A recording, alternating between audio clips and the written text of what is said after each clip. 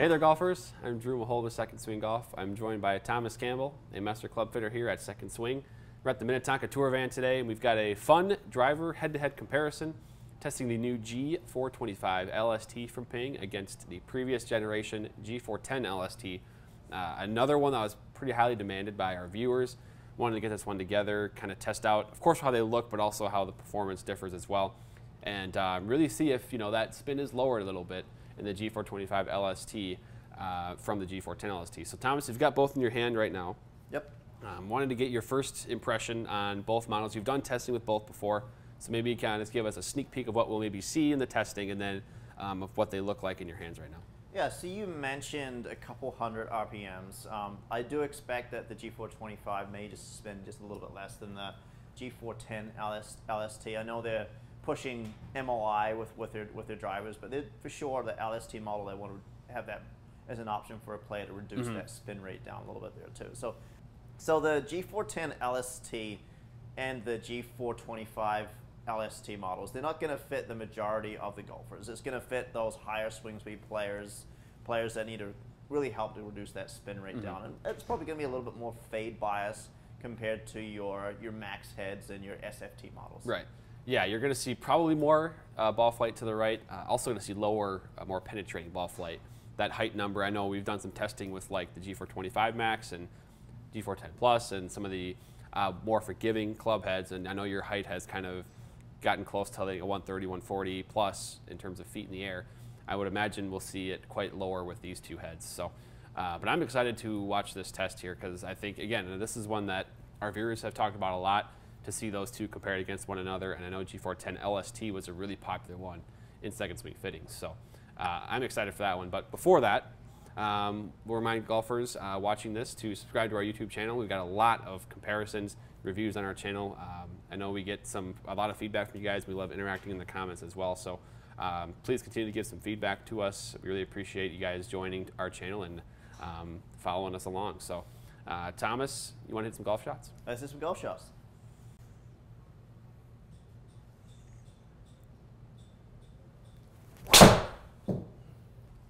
That is high in the air, Thomas. It was. Spin rate was down though. Mm-hmm. Considering how high that was. Oh my god.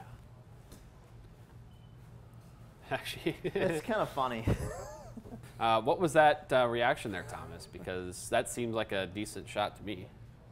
Uh, yeah, I left that face about five degrees kind of open there, but the gear effect on the driver definitely helped me out. But you'll notice the spin rate was still kind of low, Very considering low. that was a miss. That definitely yeah. kind of surprised me there too. So yeah.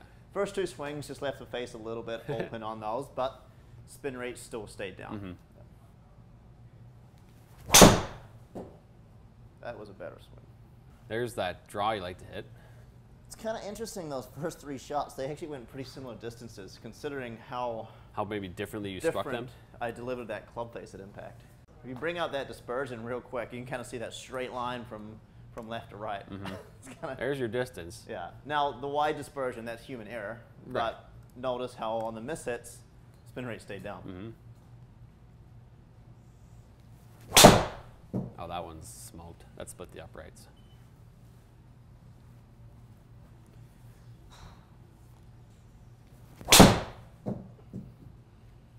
All right, well, Thomas, that was Five so far with the G410 LST. I'll kind of bring those numbers up here. But um, first, just let's just go back over what, you know, like the specs of the two drivers we're playing in terms of, you know, loft and shaft, things like that. Yep, so LST heads, both 9 degrees of loft, both with the Ping Tour 65 golf shaft, both the that 45, 45 and a quarter inch length mm -hmm. with, with, with the clubs there um, both with the, the weights in the back in the, in the middle, so I'm not make any adjustments there.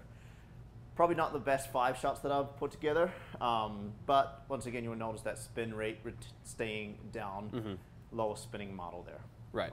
Yeah. The the spin, I think, you know, it stayed down. Especially, I think, what was it? The second shot here um, is the one that we really took note of because I think you you finished it and you kind of did the helicopter finish and you're you know, I expected that to go off onto the road over there on the on the screen, but you actually kept it relatively straight, I think, compared to maybe what you thought would happen. Yep. And the spin was actually lowest of the five shots. There's the, the gear effect that you mentioned. I would guarantee that one was probably on the toe of the club. Mm-hmm. Um, but yeah, so G410 LST still relatively forgiving. Uh, Ping's known for for forgiveness even in their lower spinning models. Mm-hmm. models. So even on the mishits with the G410 LST, notice the spin rate stayed down. Well, look, we're about 2100 Mm-hmm. on average on those five shots. But we've got this new G425 LST model. It should spin a little bit less. hmm Yeah, that's the uh, that's what you know Ping's claiming, and they're telling us it's going to spin a little bit less because of the advancements they made and um, in the club head. So I'm eager to see how it performs, and then I'm also going to get your kind of perspective on how it looks as well, because they have made some tweaks to like the crown and things Yep. like that for uh, how it looks at you know the appearance at address. So They've also narrowed their uh, their, their weight shifting around the back of the club here too, so the center of gra- gravity movements it's a little bit closer together. So Yep. the G425, the, the back of the club, it's not as far wide, and they've said that if they keep the weight in the back, more it's going to be a little more forgiving as opposed Yep. to moving that weight closer to the front of the club that reduces the forgiveness on the drive. Right. Yep. Yep. So you can see, I mean, the weight track here, kind of move it just a little bit to each side. Um, you can see on the G410 Plus that weight track kind of expands to a wider area, and by keeping it back here, you might not get as much in terms of your right to left as you were if you were able to move this weight farther. But the the weight staying back there does provide the more forgiveness that you're mentioning. So. Um, but let's get into G425 LST here, see how it compares. Well, yeah, so I'm hoping for a little bit more forgiveness. As I mentioned, those five shots that I hit weren't my perf- perfect swings. We'll notice had a couple left and right.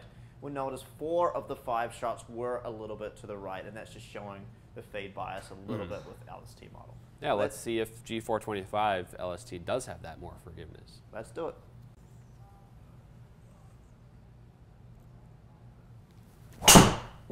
Yeah, that's straight. That should be pretty good. Mmm. That's a tasty tee shot there, Thomas. Farthest one of the day. Didn't quite catch that one. But if we're not quite There you go. it, that was pretty good. There's the, uh, if you're going to, you know, miss hit and to stay at that low 2000s, that's what you're looking for. Uh, you'll notice that shot, my ball speed dropped by about three or four miles an hour compared Mm-hmm. to the shot before, but yeah, that spin rate stayed down, which is important. hmm Oh, yeah. That's pretty tasty as well. That is the best tee shot of the day, I think, uh, undoubtedly. That is 1800 spin. You near, you're, you're getting close to 300 carry there, Thomas. Very nice. All right. Those five swings did feel a little bit smoother than the 1st Mm-hmm. kind of five swings. So we'll uh, bring these circles up here as well. Um, now, you hit both drivers. Wanted to get what you thought about the appearance at address between both of them because there has been a little bit of a change, I think, in what they've done to the appearance and in terms of what the crown looks like. Yeah, there's, there's not as much going on. Looking at the G425, I like how it's cleaner on top, especially once you get past the, the turbulators on, on the top front part of the crown, pushing back. It just looks like a little bit cleaner. So Okay. with the G410 Plus, you got these kind of these two, two lines that were pretty evident. With the uh, G425, it's not quite as evident. There's still Okay. a little bit going on, but it's yeah, there's not as much kind of going on. I will say that the the lines up front do seem a little bit bolder though. Okay. So I feel like they're just maybe just raised maybe a little bit little bit higher. Okay. So I know aerodynamics is kind of the, the big piece with these here still. Yeah. Definitely feel like they're just raised just a little bit more, but yeah, good looking. Really like the the, the clean matte finish, and I Oh, kind of yeah. like just the, the black and the white going on. You know, they got rid of that, that red color off Mm-hmm. the, the bottom of the club. Yeah, yeah. I mean, I I, th- I think they've hit the uh, aesthetics out of the park for.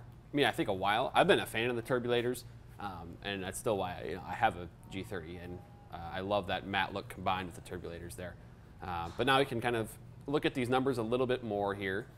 Um, and I think, first of all, you know, what Ping has said about the spin, you know, we saw that here. You know, you can see uh, 1959 on, to, on average spin to 2133. So about 200 RPM difference, right? That's kind of what I think maybe you mentioned that number actually prior to testing. So um, good to see that. Uh, what else do you notice here, Thomas? I think spin consistency too. So if you look at the plus or minus number, plus or minus 199, I think it was just a little bit more with the G410. It was. Mm -hmm. So plus or minus 351. So it was spinning less, but it was also consistently spinning less yeah. as well. So that's kind of interesting there. I'm curious to see what my club speed with both drivers is. So kind of interesting. So with the uh, G410 LST. Now we've done a lot of testing this morning. Maybe my yeah. swing started to slow down a little bit. sure. Um, but it was faster than the G425 LST. But you'll notice the ball speed. Ball speed was a little bit higher. So that's kind of interesting. So the efficiency was just a little, little bit higher. Launch slightly lower. Um, as I mentioned, spin rate was a little bit lower, but you'll notice it was going further. It was flying just a little bit lower overall mm -hmm. height, going a little bit, little bit further.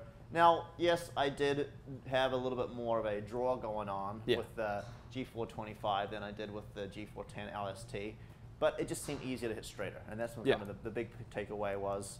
I think by having the weight more centered and not kind of moving stuff around there too, that's just going to help with regards to forgiveness. Yes, there's going to be extremes where someone's going to want to have that weight way out on the toe, weight and the heel to help with their, their draw or fade bias a little bit. But end of the day, most golfers don't need to move that weight around too much. Yeah, yeah. Mm-hmm. I think that's why they just moved it closer. Like, yeah. Well, well, and I think so. They've they've made in the G425 that back uh, adjustable weight is slightly heavier in both uh, models, actually, like G425 Max uh, and the LST. So that's what you know one way that they've kind of moved a little bit more weight behind the club face there. So, uh, but yeah, I think you know this is the this is sort of what you want, right? I mean, this we should also mention G410 LST, good performer. I mean, I know you had a couple misses there that you were very impressed by as well yep. out here. I mean, I, I, know a couple of these. I think one of them was, I think yeah, this one that was at uh, the 1600 R, uh, RPM a spin, the one that you had kind of the one-handed finish there. Um, but I mean, it's still out there, 316 yards, maybe not as straight, just because you had that face open. But again, I mean, the G410 on LST is awesome. It set a high bar, and I think the G425 has actually exceeded it. Yeah, it depends on budget a little bit. You may be able to get the G410 LST at a little bit reduced price. Yep. At second swing on our used clubs, we've got a lot of clubs that are still in exceptionally good shape. So mm-hmm. you'll be able to maybe save a little bit of money if you don't feel like you see that big a difference. Usually I, I notice one year, two years, not going to be a major difference, but if you're playing a driver that's maybe five, ten years old, yeah. it's maybe time to upgrade. Yes, yes, and the best way to do that, trade in that driver at second swing, and then upgrade to either one of these models. Uh, you know, they're going to have, like you said, there's going to be a bunch of G410 LSTs used available, or of course, new G425 LST where you can get fit uh, through a tour van fitting with uh, someone like Thomas at one of our stores, or you can contact our online fitting and support team uh, over the phone, maybe do a video chat as well, and they can analyze a video of your swing, and then from there discuss how the G425 or G410 LST can best fit you. So. Um, Thomas, this was a great test. I think the ultimate result, G425, a little bit lower spin, a little bit more controlled. G410 LST, still awesome though.